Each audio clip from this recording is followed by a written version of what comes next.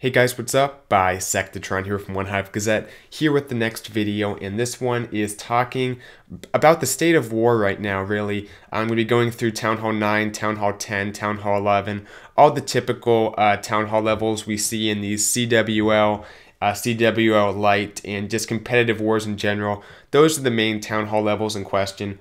Um, so I'm going to be going through each of those, talking about kind of the balance of it, and what changes, if any, I think are needed, and kind of war as a whole right now. So I'm going to get to all of that in just a moment. As you can see, the background attacks for this video are going to be from the Amino War. Great job to that clan. Uh, they they had a very solid war, and I think we had a pretty bad war to be honest. Um, we had to use surprisingly dip attacks, Town Hall 10 attacks going down on the Town Hall 9s. We did not clear all the Town Hall 9s, which was kind of disappointing, and I'll talk a little bit more about that as I go through Town Hall 9s uh, as a whole. But basically, that kind of crippled our heavy hitters, our Town Hall 11s, Town Hall 10s. They had less attacks to work with. We were kind of spread a little bit thin because of those dip attacks we needed. And uh, we, we almost came back. It looked like it would be really close for a long time.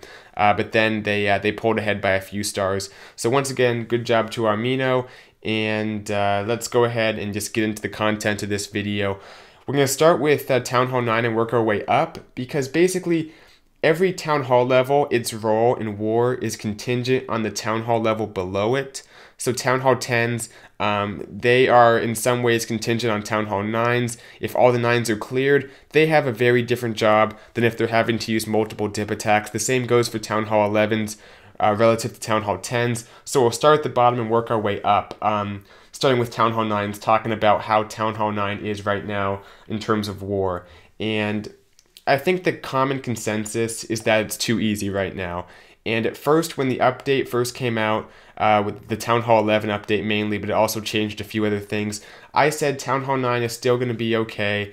Um, I said that after the update to Giant Bombs that made them no longer do the 1.5 damage to Hogs. I also said that then, and I think it was more true then. But after this last update, I think Town Hall 9 has just um, slid a little bit too far off the balance scale. It's not quite really balanced much anymore. And Laloon is what kind of exemplifies this. I'd say every attack strategy um, is a little bit too powerful in general, but especially Laloon at Town Hall 9. The balloons did get a small buff in the most recent update, meaning they drop their uh, their bombs a little bit faster when they reach a defense, which does have a noticeable impact if you take it as a whole, because they used to be pretty slow. Now they're a little bit faster, and that makes them uh, move through the base a little bit quicker. So that had an impact, and I think just everything as a whole, um, it made Town Hall 9 too easy. We're seeing all kinds of attacks with uh, Laloon. We're seeing the, the Shattered, Cold Blooded, Stoned, Golem based attacks like that. We're seeing Queen Walk attacks. We're seeing just kind of spam attacks. There's like Queen Pop. There's all different kinds of way to use balloons, and pretty much every one of those ways is working right now at Town Hall 9. That's not to say we're not seeing ground attacks because we are, and they might even be close to being a little bit too powerful, but the main culprit right now is going to be the loons at Town Hall 9. I guess the Lava Hounds too, it's all part of the same package. So I think we need to see some kind of change there because Town Hall 9, they should, I'd say there should, if I could ideally create the scenario, there should be occasional dip attacks. And I know this sounds kind of uh, kind of silly coming from uh, me being in Genesis and we just struggled with the Town Hall 9s. We had to use multiple dip attacks. That sounds kind of weird, but most clans are having no problems. I think that was kind of an anomaly for us too. Uh, we'll probably be three starring those Town Hall 9s across the board pretty soon as well in the coming wars. So I think that um, uh, we need Town Hall 9 to be at a place where it's going to be questionable as to whether all the Town Hall 9s are going to be three starred easily. There's going to be dip attacks in at least some, if not the majority of wars. I think that makes it a little bit more interesting. The Town Hall 9s have more of a challenge that way. There shouldn't be that many scout attacks because those kind of. Uh, they take away a little bit from war, I think. I don't like scout attacks in general. Um, they kind of. Uh, defeat the purpose of base building um, for some of the heavy hitters because they expose some of the traps, which are intended to be surprises and stuff. So ideally, I think Town Hall 9 should be questionable whether they all get cleared. Right now, it's a little bit beyond that, despite what happened in Genesis in our most recent war. So one of the uh, solutions I propose for Town Hall 9 is to bring the level 12 Archer Tower. That's the first uh, level you can upgrade to once you get to Town Hall 10. That's one above max for Town Hall 9. Uh, max for Town Hall 9 is the level 11 Archer Towers, but I propose bringing the level 12 Archer Towers down to Town Hall 9. Um, they're like the brownish purple black kind of that have the spikes and stuff. You guys know what I'm talking about. Bring those uh, Archer Towers down to Town Hall 9. That will not only help kind of curb the air attacks because just more damage from air targeting defenses right there, and you have quite a few archer towers, so I think it would be significant. But also for ground attacks too, the archer towers obviously still target ground troops, so it wouldn't be like an air defense buff that just targets the uh, air troops and possibly leaves other things too powerful. It kind of does an all-around nerf to Town Hall 9 offense um, through a buff to defense uh, through that means. I think that would be, um, it would obviously add another defense. You have to upgrade twice at Town Hall 9, which wouldn't be much fun for Town Hall 9s, but I think in the grand scheme of things, it would help balance out that Town Hall level, and I'd definitely like to see that um, bring that Archer Tower down to Town Hall 9. I don't really see many drawbacks of it. It's a pretty isolated solution. It's not going to affect other Town Hall levels. Um, Town Hall 10 should still be able to dip very easily on Town Hall 9s. It wouldn't be like Town Hall 9 got so powerful defensive wise. It's just a one specific Archer Tower um, upgrade being brought down. And I think that would do enough. I mean, it's possible people could still kind of face roll bases with uh, air attacks, but I think that would have a significant impact. It's hard to say definitively, but I have to think all that extra damage, you know, extra 12 DPS or whatever it is for every archer tower, that probably would make a difference. So that's my solution for now that I think Supercell should implement. And that way you only have one upgrade at Town Hall 10 which might make that a little bit of a quicker Town Hall level if you want it to be, if you want to move to Town Hall 11. So that's my solution there. That's all I can really think of um, at this moment. You guys can let me know what you think below, of course, like in any video. But let's keep moving on to Town Hall 10. Um, right now, because Town Hall 9 is pretty easy, we're seeing Town Hall 10s have a lot more freedom because they're not having to dip as much as they used to on Town Hall 9s. Um, basically, the main thing for Town Hall 10s is to get up there and two star the Town Hall 11s. That's actually another thing Genesis has struggled with. If the two main things um, to characterize the two main things we've had problems with, it's been Town Hall 9 three stars just straight up, and the Town Hall 10s getting up and two starring the Town Hall 11s. We're getting better at the the, the two stars. Uh, for sure, though, I think that's something we're in the process of uh, of getting down. But that's the main uh, the main role of Town Hall 10s. I think initially that's the first thing that happens in a CWL war like that is the Town Hall 10s go up, two star those Town Hall 11s. That way they just have those sure stars. They can later be attempted for three stars by Town Hall 11s, which is a possibility now.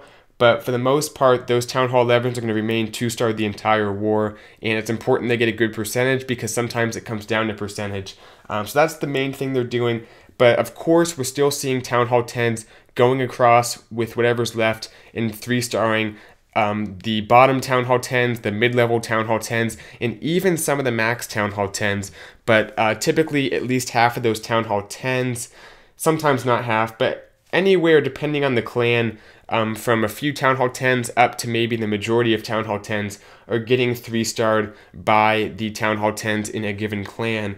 And I think that's good. We are seeing mainly Laloon um, but that's changing. The basement is changing. People are putting their air defenses in tricky uh, locations. You saw that in my video where I talked about the offset air defenses at Town Hall 10. People are also putting them in kind of four corners, but very much so to the outside of the base to prevent the lava hounds from really getting in there and tanking. So these different ways um, to manipulate the lava hound pathing is making it so bow laloon and stuff like that isn't going to be too powerful. I don't think a change is needed. I think we just have to wait for base builders to fully catch up.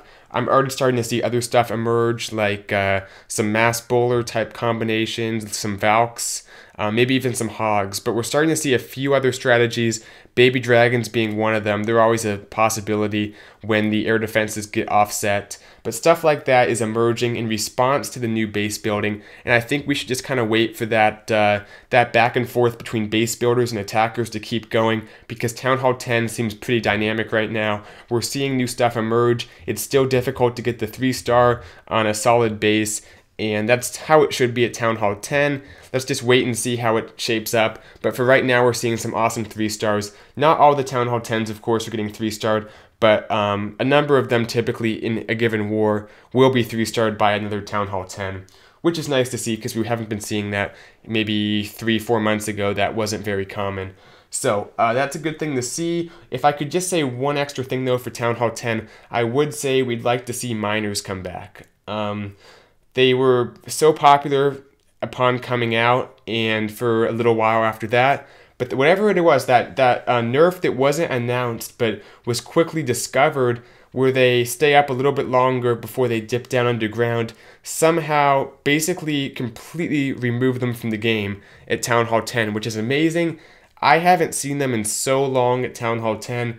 I don't want to see something that makes them too powerful, but something that makes them a good support troop, a good kind of uh, combination complement to Valks, maybe even make them uh, compatible with an air attack.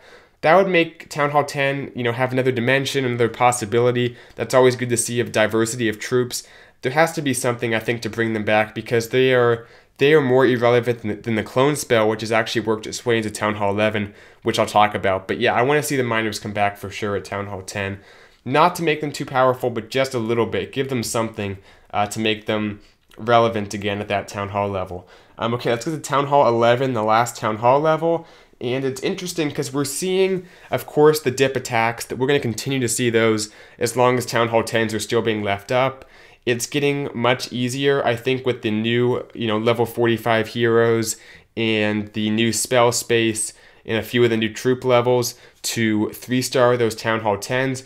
We're seeing the Witch Bowler combinations as well as Laloon and stuff like that. So we're seeing multiple attacks being used. The dip attacks are getting easier, but that's probably how it should be. Dip attacks should typically be easy. They're not as easy as a Town Hall 10 going down for a Town Hall 9, but they still are relatively easy, and most of them are successful, um, even if on a fresh attack. So that's all fine. But the main thing we're seeing that's very interesting at Town Hall 11 is the new possibility for three stars. And it's through that strategy that I uh, posted a video a few days ago on. Basically, it's the coming in for a few uh, just small things with the kill squad, then using a big Laloon on the base, sometimes involving a clone spell, but has the Warden on air, just a very uh, heavy air attack. That's pretty much all we're seeing. I'd like to see a little bit more possibility, but I think base building is going to start to adapt because right now the Town Hall 11 bases are mainly designed to defend against two stars,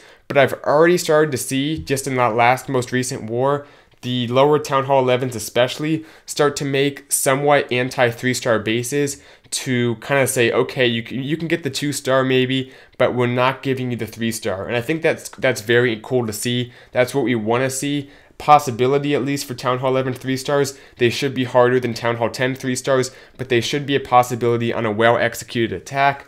I don't think we need any changes right now. Let's just see where the base building goes. As long as there is a kind of back and forth, like I said, between base building and attack.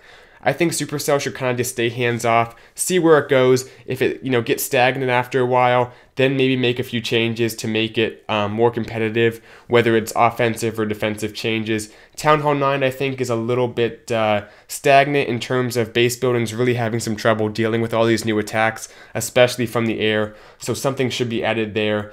But um, on the other hand, Town Hall 10, Town Hall 11, leave them alone for the most part, besides maybe some miners um, if there's going to make a small adjustment there. But that'll do it for this video. Hope you guys liked it. As always, drop your uh, comments, your opinions, or questions below. I'll be sure to check those out and make sure to answer some other ones if you can. Um, I should be coming out with an attack meta video to kind of show what attacks are working. I know you guys like that series. And also, I'll work on a new Town Hall 9 base maybe to uh, to try to defend this new uh, air meta. I tried in the past. It worked out all right, but it got wrecked by some um, some other YouTuber uh, Cast and Blast uh, came out and destroyed it with a Queen Pop. So I'm gonna have to uh, to rethink that and maybe make another Town Hall 9 base build video for you guys. So be looking forward to that. I'll see you guys very soon. Uh, thank you guys for watching. Bisectatron out.